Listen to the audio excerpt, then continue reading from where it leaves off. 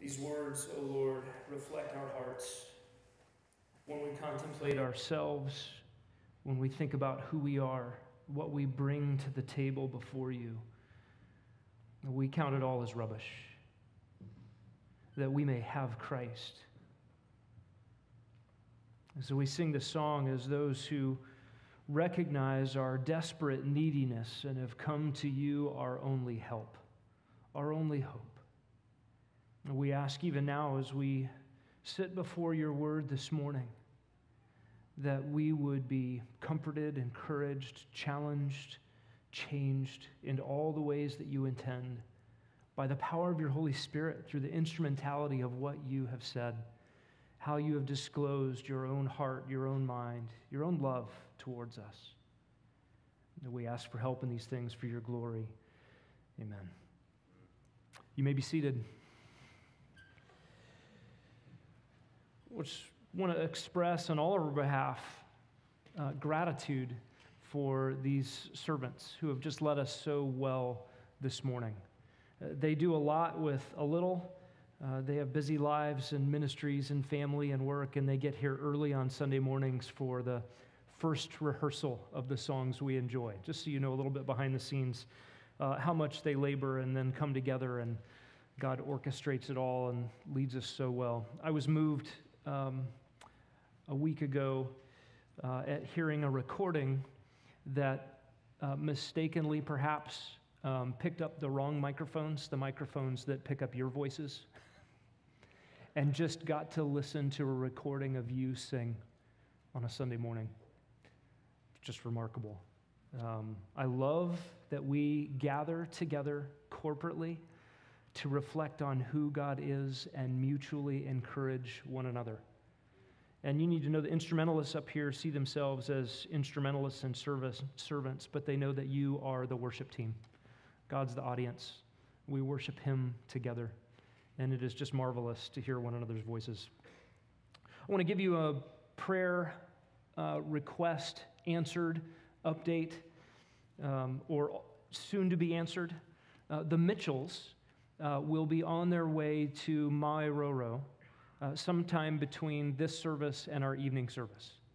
And so, after much prayer, much longing, um, much planning, and a whole lot of travel, uh, they will finally be there in the village. So, continue to pray for Ryan and Elna, Sebastian and Callista as they step back into the village with the Doe people who have recently heard the gospel in its clarity, and some of whom have recently believed uh, we can continue to pray for that fledgling church. This morning, I want to turn your attention to a psalm, a song. Uh, psalm 121 in your Bibles. Omri read this last week in our public reading of Scripture. And I want to turn our attention to this psalm in detail this morning. I'm amazed at how much help there is out there. There is a ceaseless train of self help books there are endless tips on social media for repairs, remedies, recipes, and we bounce from help to help to help. Where do you turn for help in life? Instagram, Google, a friend. I want to turn our attention this morning to a song. This song is Help for Life. It's one of the songs of ascent uh, it's literally a song of the steps. Those are the first words in the Hebrew text. And this is the second in a collection of 15 songs, Psalm 120 to 134, that are collected together as the songs of the steps. They were sung by pilgrims on their journey to Jerusalem for the three mandatory festivals a year. Deuteronomy 16 16 lists those feasts as the Feast of Unleavened Bread, the Feast of Weeks, and the Feast of Booths. And then later on, these songs in their collection were sung by worshipers as they ascended the Temple Mount. They went up the staircase, and there are 15 steps. It coincides with these 15 songs. And you would stand on one step and sing one song and move to the next step. And we want to unfold this psalm in a couple of parts. Let's read it together. We're going to see the psalmist's personal reflection and then he'll turn the corner to public instruction. Let's read this together. Psalm 121, a song of ascents. I will lift up my eyes to the mountains. From where shall my help come? My help comes from Yahweh, who made heaven and earth. He will not allow your foot to slip. He who keeps you will not slumber. Behold, he who keeps Israel will neither slumber nor sleep. Yahweh is your keeper. Yahweh is your shade on your right hand. The sun will not smite you by day, nor the moon by night. Yahweh will protect you from all evil. He will keep your soul. Yahweh will guard your going out and your coming in from this time forth and forever. The songwriter here reminds the faithful in two steps that we have no help but Yahweh. We have no help but Yahweh. That's what this song is all about. This is theolo- theology for life, not some sort of ivory tower abstract contemplation of things, but a true knowledge of the true God, and that true knowledge leading to real help in real life. Let's look at his personal reflection first. These are the first two verses of the song. He writes a song of ascents. I will lift up my eyes to the mountains. From where shall my help come? My help comes from Yahweh who made heaven and earth. This is a Q&A, a question and answer, and the songwriter is speaking to himself. And he's reflecting on truth by asking a question and then answering it. The question is this I'll lift up my eyes to the mountains, some versions say the hills. Where shall my help come from?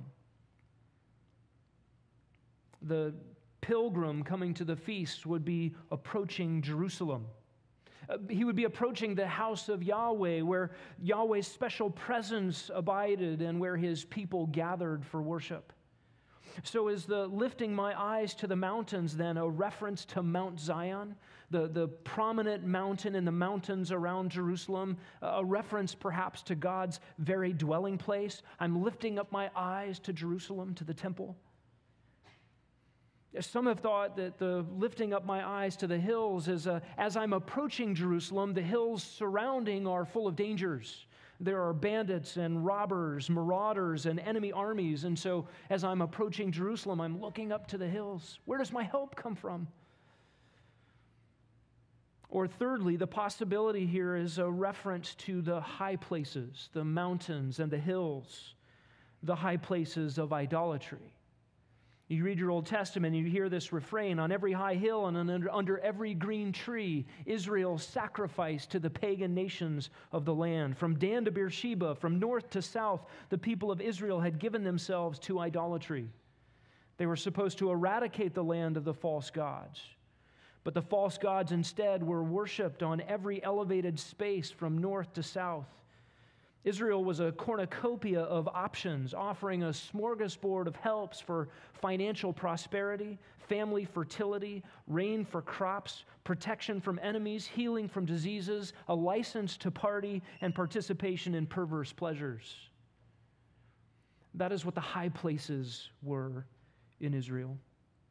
And I believe the reference in verse 1 is to those high places. And notice the contrast in verse 2.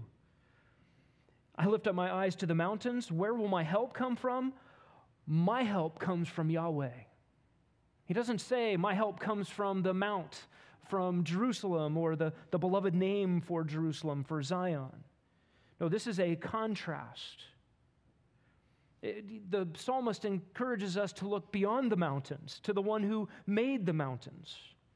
Look down at the next psalm of ascent, Psalm 122, verse 1. I was glad when they said to me, Let us go to the house of Yahweh. We read that this morning. Not to the high places, not to the hills, not to the mountains, but to the house of the Lord. Now look down at Psalm 123, verse 1. To you I lift up my eyes, O you who are enthroned in the heavens. Where should our eyes go? This contrast is critical not to the various helps that the world offers, but to God alone. Listen to the Old Testament's descriptions of the high places. Deuteronomy 12, 2. You shall utterly destroy all the places where the nations whom you shall dispossess serve their gods. on the high mountains and on the hills and under every green tree. 1 Kings 3, the people were still sacrificing on the high places because there was no house built for the name of Yahweh until those days. Now, Solomon loved Yahweh, walking in the statutes of his father David, except he sacrificed and burned incense on the high places, those high places of idolatry. Listen to Jeremiah 3:23 and this invective. Surely the hills are a deception, a tumult on the mountains. Surely in Yahweh our God is the salvation of Israel. There's the contrast again. Now let's look at this contrast in verse 2. Where does my help come from? My help comes from Yahweh who made heaven and earth. This single theological truth ought to put an end to all other searching for help. How quick we are to seek help anywhere other than God, as if going to God for help was our last resort. How we ought to run to Him as first resort in everything and for everything. He is the maker of heaven and earth. That is, He's the maker of the universe and everything it contains. And do you remember how God made it all? Out of nothing. This is power. This is power limited only by his perfections, his purpose, his goodness. Romans chapter 1, Paul tells us that his eternal power and divine nature are clearly seen, being understood from what? From what has been made. Listen, there's an incentive here for us to study creation, to study creation as worshipers of the Creator to note God's creativity and his power and the sustaining of his creation in the variety and the beauty and the magnificence of all of it, in the grandeur of it, in the size, we ought to get a sense of our place on the scale of the universe. In the macro, go out as big and as far as you can, down to the micro. By the way, if you, if you look at orders of magnitude in magnification, from the size of a human out to the biggest things that exist and the size of the universe, those orders of magnification are smaller than the orders of magnification required to go down to the finite and small the other direction. In other words, known particles are smaller compared to us than the whole universe is big compared to us. God is the maker of all of these things. Why would we go anywhere else for help? Anything in the created order can't compare to such power. By the way, to compromise on a biblical view of creation is to compromise right where we need help. The maker of heaven and earth is uniquely suited to meet our needs. No one else qualifies. Listen to Isaiah 40, 28 and 29. Do you not know? Have you not heard? The everlasting God, Yahweh, the creator of the heavens and the earth, does not become weary or tired. His understanding is inscrutable. He gives strength to the weary, and to him who lacks might, he increases power. Jeremiah 10 says similarly The gods that did not make the heavens and the earth will perish from the earth and from under the heavens. It is he who made the earth by his power, who established the world by his wisdom, and by his understanding he has stretched out the heavens. When he utters his voice, there is a tumult of waters in the heavens, and he causes the clouds to ascend from the end of the earth. He makes lightning for the rain and brings out the wind from his storehouses. Every man is stupid, devoid of knowledge. Every goldsmith is put to shame by his idols, for his molten images are deceitful. There's no breath in them. They are worthless, a work of mockery in the time of their punishment, they will perish. The portion of Jacob is not like these, for the maker of all is he, and Israel is the tribe of his inheritance. Yahweh of armies is his name. When heaven and earth go away, he will remain. Before heaven and earth were created, he is. The helps that Israel sought when they spurned their Maker, where are they now? Where are the armies of Egypt and Assyria and Babylon? Where are the religions of Baal and Chemosh and Asherah? The fickle fads of human helps will all go away. Yahweh, the maker of heaven and earth, remains forever. And with infinite resources and the kind of power that brought everything out of nothing. In verse 3, the songwriter changes from personal reflection to public instruction. He's going to teach us now. Notice the shift, the shift in pronouns. Verses 1 and 2, it's I and my. From verse 3 to the end of the psalm, it's you and your. He is moving from his own experience to our encouragement. He's saying, Taste and see, Yahweh is good. I've tasted, now you taste. And he is speaking here to believers, to the faithful. The promises that are on display in this song are not universal promises to all of humanity. These are promises to God's beloved on the earth, the saints, his people. Now, we need to make sure we understand this. These are promises for those who are rightly related to Yahweh in faith, who have submitted their lives to Him and who look to Him. And notice the transition from Yahweh as creator in verses 1 and 2 to Yahweh as keeper in 3 to 8. We move here from unlimited power to personal care. This is not power for power's sake. This is not power held in reserve just in case of something. This is power to help. This is Yahweh's unique competency employed for timely benefit. And the rest of this sermon will focus on the songwriter's public instruction. Here's his instruction Yahweh powerfully, carefully, personally keeps. He keeps. He keeps you stable. He keeps his people. He keeps you strong. He keeps you safe. He keeps you from evil. He keeps your soul. He keeps your travels, and he keeps you forever. The key word in this section is to keep. Six times in these verses. Three times Yahweh is, is called the keeper as sort of a, a title. And the last three times the verb form occurs, Yahweh actually keeps. To keep here is to guard, to watch, to stand guard, to watch attentively. It's a very common word in the Old Testament. Adam was to guard or keep the garden in Genesis 2:15. Shepherds are said to keep sheep. A guard was said to keep silver and the storehouses of treasure and food and goods. What's, what kind of keeping is this? This is intentional, present, personal, strong, reliable keeping. And the public instruction that follows here in verses 3 to 8 requires a response from us. Uh, this is not a mere novelty, something to observe and move on. This asks of us faith, dependence, prayer. Uh, those expressions in our life where we actively depend on the God who is dependable, where we actively look to Him as He longs to supply our needs.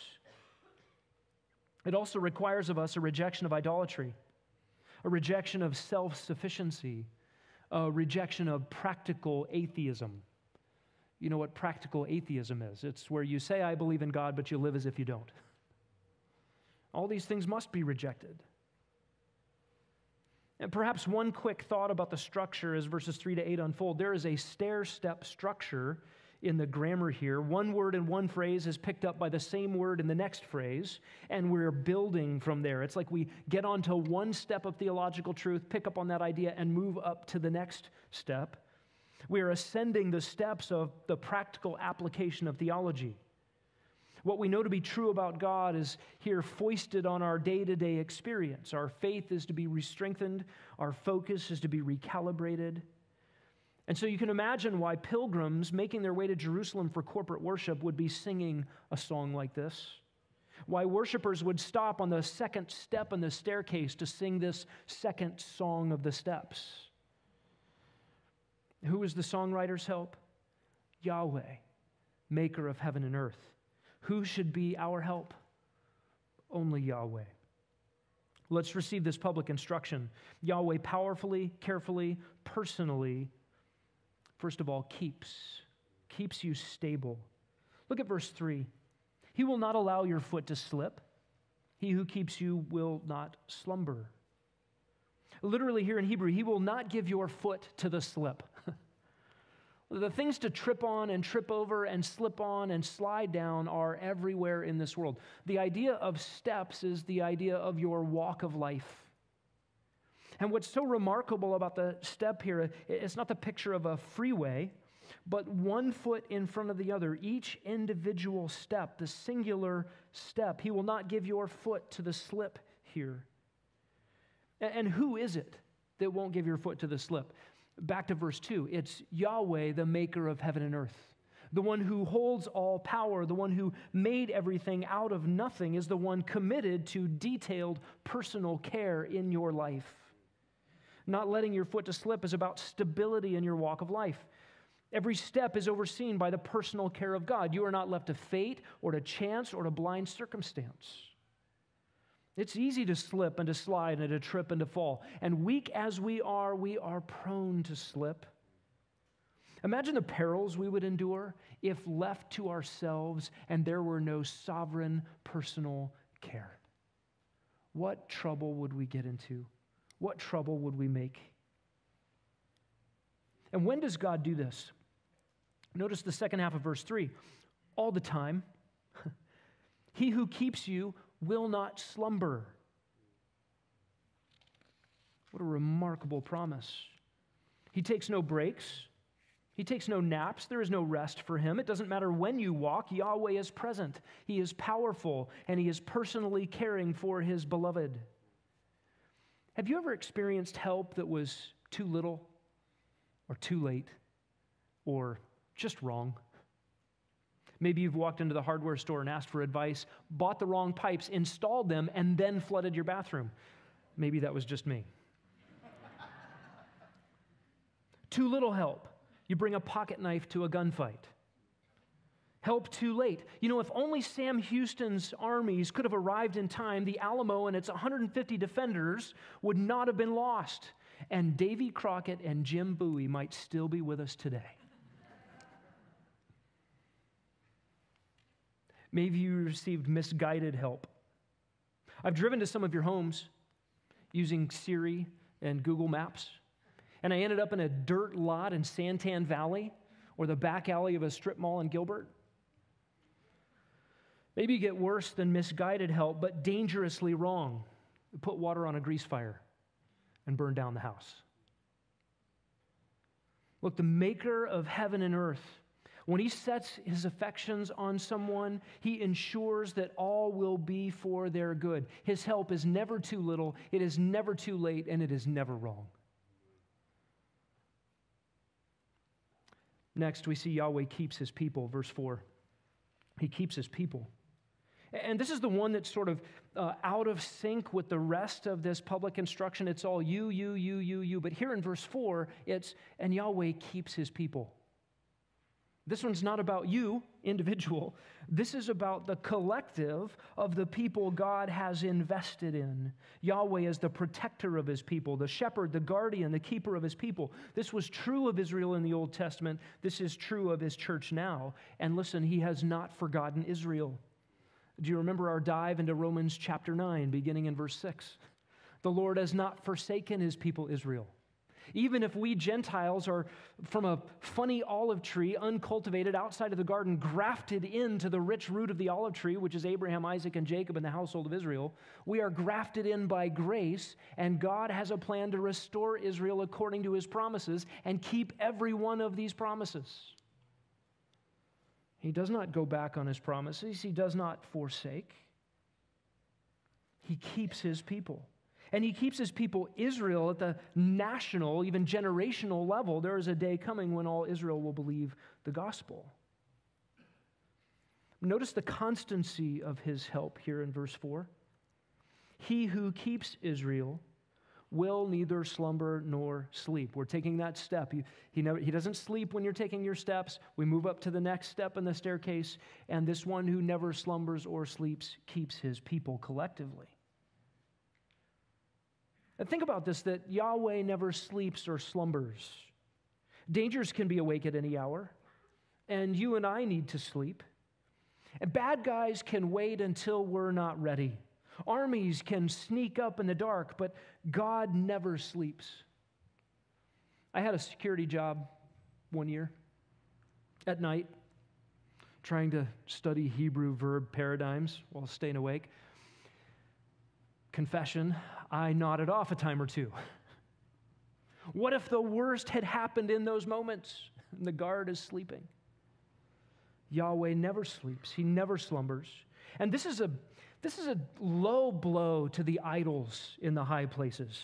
The fertility cults were worshiped in the seasons where people needed things to grow. But in the off season, the gods were dormant. They were sleeping. They were away. Listen to what Elijah says on Mount Carmel when he's challenging the worship of the false gods in comparison with the one true God, Yahweh of Israel, 1 Kings 18 27, Elijah mocked them and said, Call out with a loud voice, for he is a God. Either he's occupied or gone aside or he's on a journey, or perhaps he's asleep and needs to be awakened. Yahweh never sleeps, doesn't need to sleep. This is critical theology here. Yahweh, as maker of heavens and earth, is independent of his creation. He, he transcends the universe, he is self existent. Every other existence is derivative. We exist because he says so. But God alone self exists. He has no need of self preservation efforts. He needs no food. He needs no drink. He needs no rest. He doesn't sleep. He doesn't need vacation. He has no other business to attend to than to his perfect purposes which include the preservation of his godly ones on the earth. If he is awake, you can sleep soundly. There's no sense both of us staying up all night. If danger's awake and Yahweh's awake, I can go to bed. You can rest in him. Next, Yahweh keeps you strong. Verse 5 Yahweh is your keeper, Yahweh is your shade on your right hand. Notice in verse 5, we've moved from the collective back to the individual. That's so interesting. Thinking about Yahweh's care. Yeah, Yahweh cares for Israel. Yahweh also cares for the individual Israelite who has set his faith on him. Yahweh loves his church. And Yahweh loves you, believer, personally. We're back to the individual here. And notice what is said. You, don't get lost in the crowd. This is personal, individual care, and it is shade. That is, protection from scorching Middle Eastern sun. I read Spurgeon's commentaries on this verse, and he said, You know, it's, it, sometimes you get too much of a blessing. well, Spurgeon was an Englishman. All he knew was rain and gray and cold skies and damp walls. Sun sounded great. Too much sun. How's that possible? It leaked out into his commentary. But you live here. you run your air conditioning in November. You wear hats and sunscreen, and if you go to the Middle East, people are covered up. You're thinking it's 124 degrees in the Arab Emirates. Why is that guy wearing clothes head to toe? Well, if you lived there, you would too, to be covered up from the scorching heat. What is this idea of shade? Listen to Psalm 91. He who dwells in the shelter of the Most High will abide in the shadow of the Almighty. That is a comfort. We talk about throwing shade. That's negative, that's a criticism. God casting shade was a comfort and a protection against the danger at daytime. And what is protected here in verse 5? Your right hand. This is a Hebrew way to speak of power or strength. This is a promise from God for the sustaining of strength needed to endure life's hardships. Listen, there's a clue here for where this psalm is going. We're not free from trouble, but we are promised here strength in trouble. Look at the next one in verse 6 God keeps you safe. The sun will not smite you by day, nor the moon by night. Commentators have had, uh, you know, relative ease understanding being smote by the sun. Smitten, smited. But what does it mean to be smited by the moon? Uh, moonstruck. You know, we have our English word lunatic from the idea that those who spent too much time uh, late at night, not sleeping when they're supposed to, out in the moon rays, went a little crazy. I think what's involved here is not some sort of uh, moon fever, but this is simply an expansion from verse 5. Your protection, your safety, the keeping of your strength extends past sundown. Uh, this is a song, this is poetry, so there is a, a parallel here with an economy of words. Sun and moon is a way to say day and night. It is a way to say 24 7 care from Yahweh all the time. At what hours will Yahweh keep me? All hours. This is a statement of safety. With Yahweh, you are safe. With known dangers and unknown dangers, in the heat and the cold, in the day or the night, amidst enemies seen and unseen, you can trust him.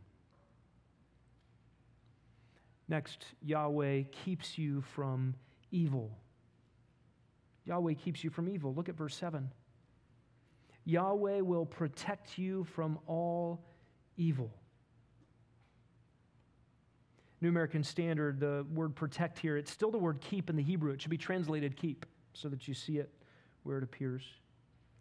He will keep you from all evil. Evil here is simply a bad. It's a bad. Uh, sometimes the word evil describes moral perversity, sin. Uh, sometimes the same word for evil just describes a physical calamity. Uh, you can, with the word evil here, describe a sin or a tornado, an immoral person or a landslide that buries a whole village. You can describe with this word a failure to love God with all your heart and soul, mind, and strength, a failure to love your neighbor, or a toothache. And there's tension here for us, isn't there? Who read this verse? Yahweh will keep you from all evil. What does this mean? Is this a failed promise in the Bible? Is this a promise that Yahweh actually will keep us from all bad? Yes, it is a promise that Yahweh will keep his precious ones from all bad. And you who have endured evils of various sorts, sins and toothaches, recognize there's a tension here. There's a clue to understanding this tension in the second half of the verse. Yahweh will keep you from all evil. He will keep your, do you see it there? Soul the inner man, the real you. Not a promise there to keep your body or all your teeth, but He will keep you. Do you understand who you are? You, you are your inner person. The thinking, reasoning, feeling, emoting, willing you that transcends this bodily existence. And you were meant to be in a body. You will one day have a glorified body that is fit for eternity. But the real you, the nephesh here, the soul, is what Yahweh promises to keep. And we'll develop this a little more in a moment. Sometimes, many times, in fact, probably many more times than we are aware, God actually prevents bad things from happening to us. We can think of the times that bad things did happen to us, and we are tempted to ask the question God, where were you? Your promises are no good, or I don't have enough faith, or all the silly, unbiblical, bad theology things we might think in that moment. We don't often contemplate all the bad things that God didn't bring into our lives, allow into our lives, let us trip over. It's helpful for us to be grateful to remember that many times God actually fulfills this temporally in ways we don't know. But I want to give you two ways in which this promise is fulfilled for those who are rightly related to Yahweh. And before we do that, let's just talk for a moment about what it means to be rightly related to Yahweh. What it means to know Him, to fear Him, to live in a right relationship with Him, what it means to have faith. That is to hear God's words and believe them. And, and particularly to enter into relationship with Yahweh, you must hear God's words about you and believe them. My friend, frankly, that you are the problem that your sin before a holy God, Isaiah 59, has separated you from God. And it's not that God's arm is so short that he can't help you or his ear is so dull that he can't hear you, but your sins have made a separation. There is only one solution to the problem that is you and the problem that is me. And that solution is the Lord Jesus Christ. Yahweh in the flesh, who came to the earth to live amongst us, to be misunderstood, maligned, eventually murdered by us. And he didn't die as a victim, unaware of what would happen to him. No, he said, I came to lay down my life as a ransom for many. I came to seek and to save that which was lost. How would Jesus, Yahweh in the flesh, save that which was lost? By giving his life in our place. He went to the cross on purpose. He endured the wrath of his Father against every sin that would ever be committed by every one of his precious ones, past, present, and future, in order to bring us to God. He made peace with his Father over our crimes by his blood. And friends, there is no other way to have a right relationship to God. There is no other way to heaven. There is no other name given under heaven by which men must be saved. If you don't know Yahweh through Jesus Christ, you are helpless. Our only help comes from Him, and we only know Him through His Son, Jesus. So let me give you these two ways in which this promise Yahweh is your keeper, Yahweh will protect you from all evil. How is this absolutely fulfilled as a promise from God? Number one, this will be fulfilled absolutely in the eternal state for all who are loved by God through Jesus Christ. Sins forgiven means you are qualified to dwell in his presence and listen to what it is like in his presence. Revelation 21, 3 and 4. I heard a loud voice from the throne saying, Behold, the tabernacle of God is among men. He will dwell among them, and they shall be his people, and God himself will be among them and he will wipe away every tear from their eyes. There will no longer be any death. There will no longer be any mourning or crying or pain. The first things have passed away. No more bads. this promise will absolutely be fulfilled. This is true for every Israelite joined to Yahweh by faith. This is true for every believer today through Jesus Christ. There's a second way in which this promise is fulfilled, a temporal way in which this promise is fulfilled for God's people. Listen to this God takes the bad out of the bads. God de evils the evil. This is so important for us to understand. This theology is so critical. Believers get toothaches unbelievers get toothaches. But God is doing something for the believer that he is not doing for the unbeliever. You remember Genesis 50 20? You've memorized it. Joseph said of his brothers, You meant this for evil, but God meant it for good. What did God do with the bads that Joseph's brothers brought into his life? Lied to dad, pretended he was dead, put him in a hole, wanted to kill him, sold him into slavery. Those are bad. Bad things happened to Joseph. What was Joseph convinced of when he had opportunity for revenge? Theology applied to life. God superintending human events so that what you meant for evil, God meant it. Same verb, same it for good. We need that truth. Romans 8:28 similarly God works together all things for good to those who love him. What's in that basket of all things? Bads, toothaches and tornadoes and sins of people against us. to those who love God and are called according to his purpose, all things for good. What else is God doing? Psalm 119, 67. Before I was afflicted, I went astray, but now I keep your word. God is up to something good in my afflictions. My afflictions are bads. what does it mean that God's going to keep me from all bads? No more afflictions. Uh, he's going to keep me from the bad in the bads. He's producing something. A longing for him, an, uh, an affection for him, obedience to him, a keeping of his word. Hebrews 12, similarly. Those who are disciplined of the Lord are loved by a father. It's the evidence that you belong to him. is God taking difficult things in your life and refining you. These are goods.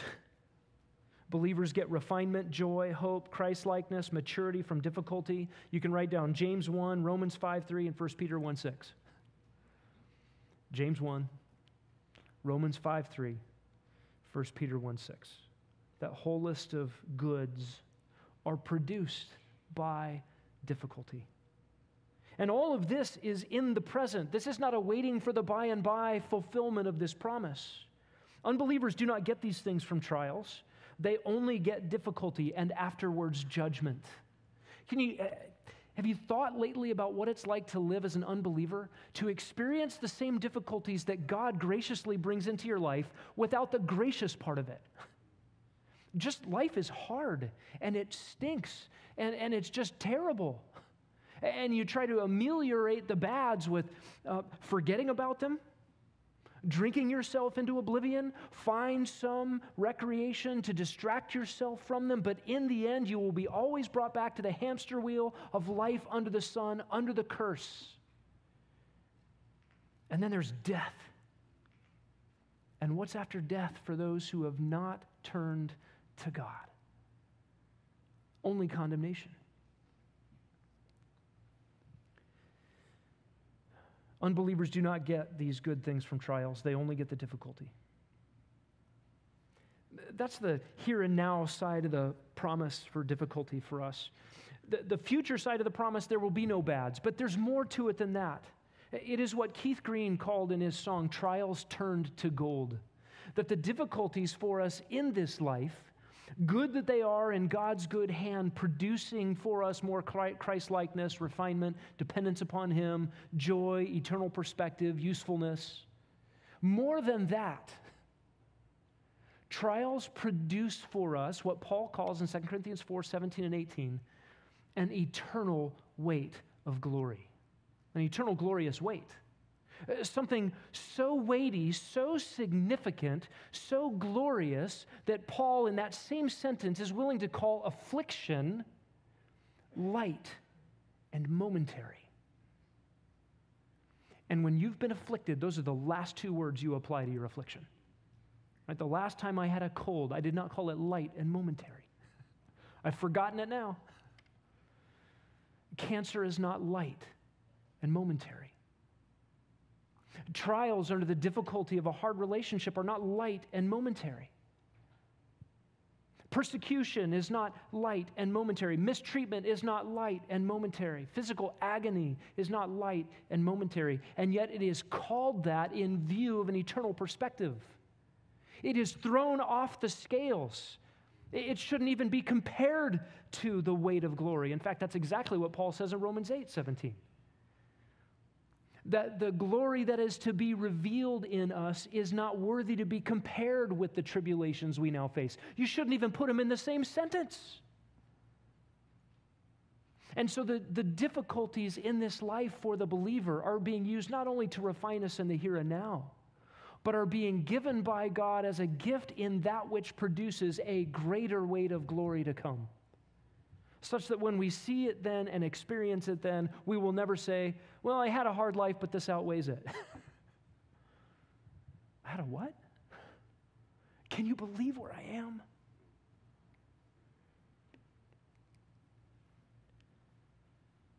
Evil, bad, all of it is a slave to God. Evil bends its knee to Yahweh. Evil confesses with the tongue the lordship of Yahweh. Evil must therefore be made a servant at God's beck and call unto the good of his beloved on earth. How do you know you're loved by God? When God turns your enemies into your dearest friends because they are used in his good hand to refine you and to store up treasures for you in heaven. Evil doesn't win.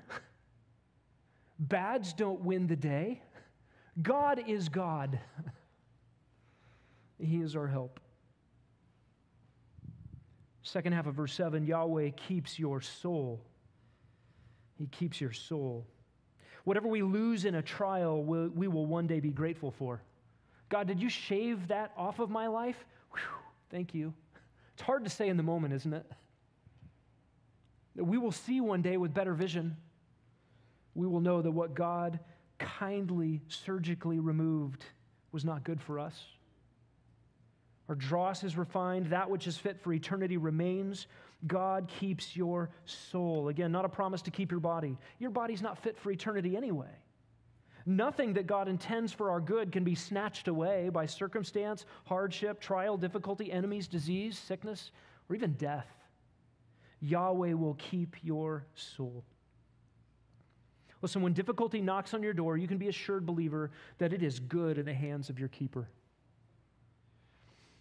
And by contrast, when good things from God knock on the doors of unbelievers, they receive them. Ungrateful to God, believing perhaps that they deserve them or are owed them, they worship the created thing rather than the Creator, and they go to eternal judgment with God's good gifts condemning them all the way. Everyone needs God's soul keeping care. Only believers are promised it. Verse 8 God keeps your travels. God keeps your travels. Yahweh will guard your going out and your coming in. Very briefly, this is your comings and your goings. It's the totality of your business of life. Going out of your house for work and returning. It's going out from the temple in Jerusalem, out of the gates of the city to your home and your farm, and then returning through those gates again to worship Yahweh with his people. Could you imagine being the pilgrim and thinking about these songs?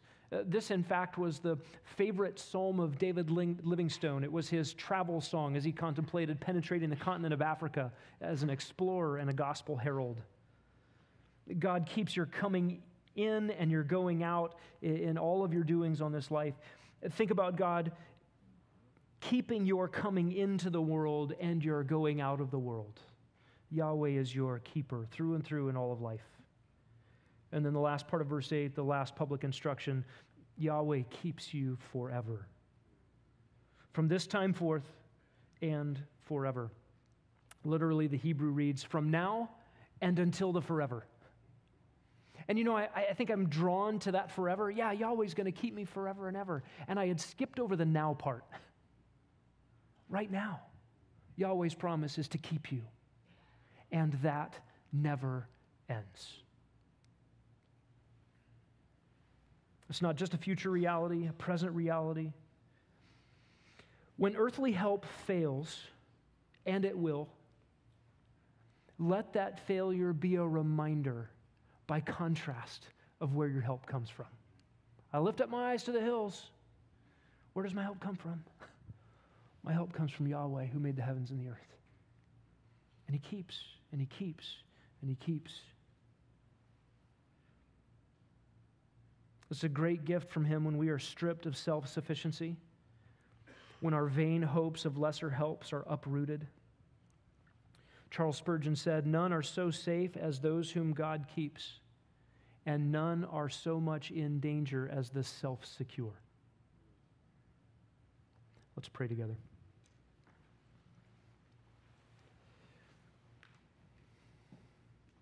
Should we lift up our eyes, O God?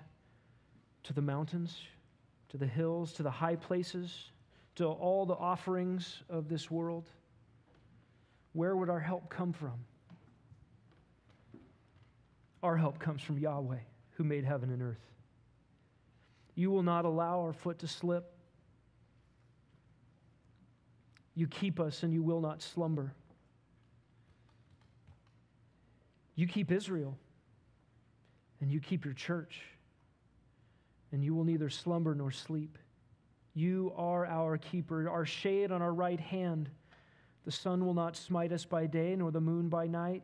Yahweh, you will protect us from all evil. You will keep our souls. You will guard our goings in and comings out from this time forth and forever. May we rehearse this song of the steps what a joy it is to gather together, give collective testimony to your character and your care, to experience mutual encouragement. May we live our short lives fully trusting you.